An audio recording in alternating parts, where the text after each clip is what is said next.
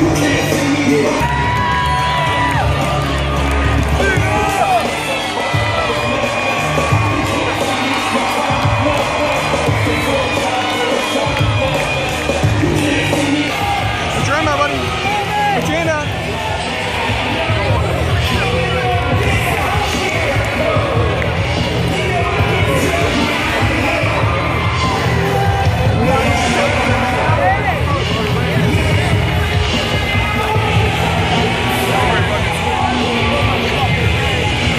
five, Drew.